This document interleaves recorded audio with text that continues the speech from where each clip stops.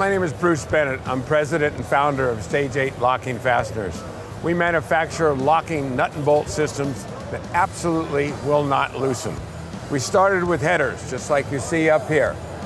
We cut a groove in the head of a nutter bolt that will match it with a mating retainer with 12 points. It'll butt up against it, like, acting like a little wrench on the bolt. And then we secure the whole thing with a snap ring, and that bolt will never back out. After 20 million header bolts, we moved into doing them for turbos. Same system, just different size bolts, along with the collectors underneath the car, and various shapes and sizes of retainers. You'll see some purple ones here. We do make very big ones for the Army Corps of Engineers. To give you an idea of the size of retainer difference, here's the one for the header, and here's one for holding the suspension bridge for the Army.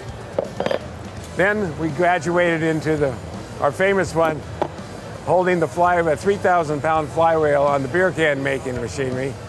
We have bridge assemblies that we make for ring gears, bridging one bolt to the other. It's approximately 50 times stronger than any wire tie, and it will only go on the right way. You can never do it backwards.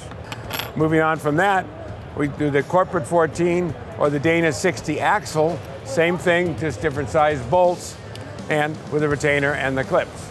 Bottom line is, put them on and walk away and forget about them.